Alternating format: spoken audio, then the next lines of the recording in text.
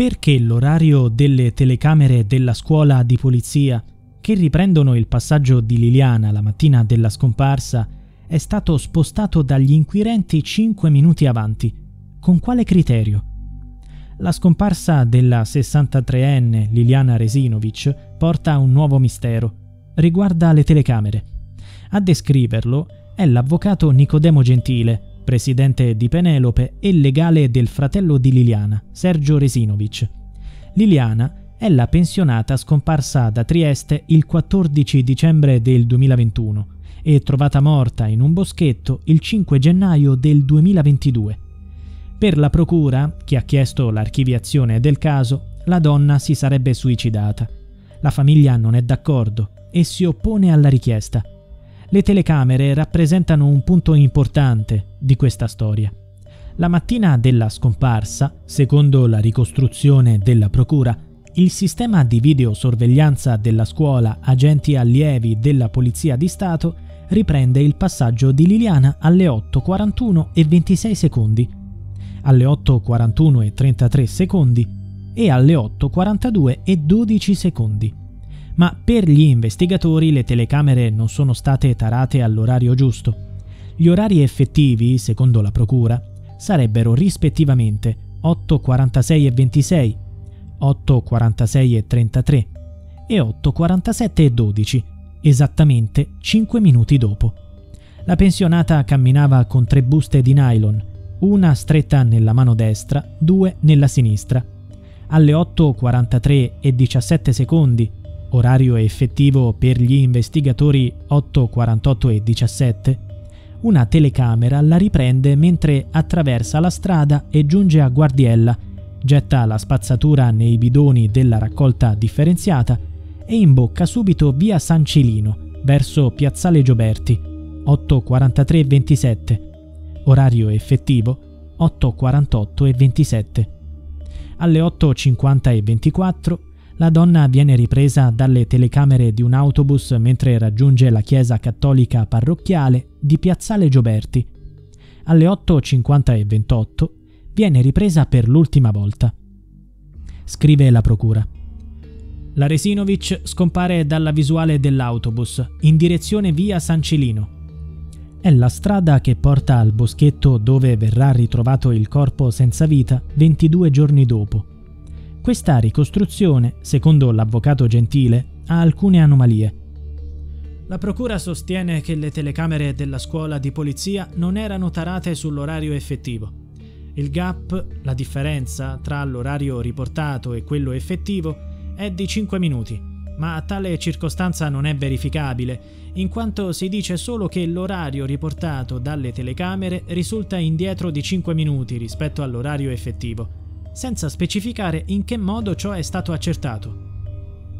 Gentile fa notare che non è stato eccepito nulla sull'orario delle telecamere dell'autobus, che per gli investigatori hanno ripreso il passaggio di Liliana alle 8.50, due minuti dopo l'ultimo avvistamento. Continua l'avvocato. Non è dato sapere se è stata verificata la conformità anche di questo orario.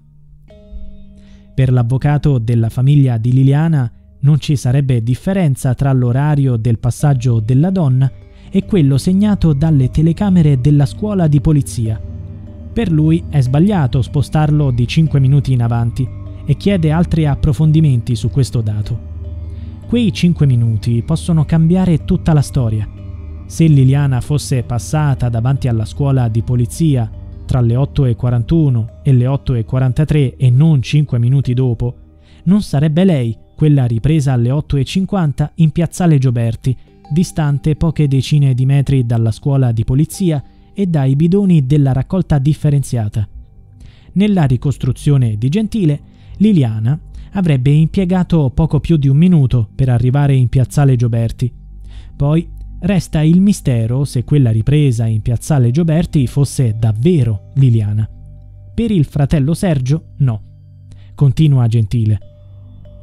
Nessun accertamento è stato compiuto per verificare la compatibilità del soggetto ripreso. Si poteva perlomeno individuare l'altezza prendendo come riferimento i punti fissi che si colgono dalle videoriprese, tra i quali i cartelli stradali o la sagoma dell'autobus. In ogni caso, è del tutto inverosimile che il soggetto ripreso dalla telecamera dell'autobus possa essere la Resinovic. C'è un altro aspetto che per Gentile è stato valutato superficialmente se non del tutto sbagliato. Per gli investigatori, la giornata di Liliana, il 14 dicembre, è iniziata con una bugia al suo amante, Claudio Sterpin. Al mattino i due, secondo quanto raccontato dallo stesso Sterpin, si sarebbero dovuti incontrare a casa di lui. Liliana, verso le 8.20, gli scrisse un messaggio per avvisarlo che avrebbe fatto tardi perché doveva andare in un negozio di telefonia. Per la procura, quella di Liliana era una bugia, detta per guadagnare tempo, in quanto voleva che il suo piano per suicidarsi andasse liscio. Per la famiglia la donna disse la verità a Sterpin. Continua gentile. Se lo scopo di Liliana era quello di andare al boschetto per suicidarsi, avrebbe potuto imboccare un'altra strada. Da casa sua, infatti, ce n'è una più comoda. Per andare al negozio di telefonia, la direzione era esattamente quella che aveva preso. Prosegue Gentile. Qualora avesse davvero voluto uccidersi, avrebbe potuto dire a Sterpin che quella mattina non poteva andare da lui. In questo modo avrebbe avuto tutto il tempo per mettere in atto il suo proposito. Avrebbe persino potuto farlo all'interno del proprio appartamento, tenuto conto del fatto che, come è stato accertato, aveva in casa quanto necessario per compiere il gesto estremo. Buste della spesa, cordino, sacchi neri. Il caso Resinovic rimane un giallo, cominciando dalla data della morte della donna, circostanza mai chiarita neanche dagli investigatori. Secondo il medico legale incaricato dalla procura, Lilly sarebbe morta due o tre giorni prima del suo ritrovamento nel bosco, 20 giorni dopo la sparizione. Ma se gli investigatori ritengono che stesse andando al boschetto il 14 dicembre, come hanno fatto a stabilire la data del decesso al 2-3 gennaio? È una grave discrepanza. Un giudice dovrà presto pronunciarsi sulle opposizioni alla richiesta di archiviazione e decidere se chiudere il caso o continuare l'inchiesta. Tutti sperano nella seconda opzione. La morte di Liliana ha bisogno di risposte.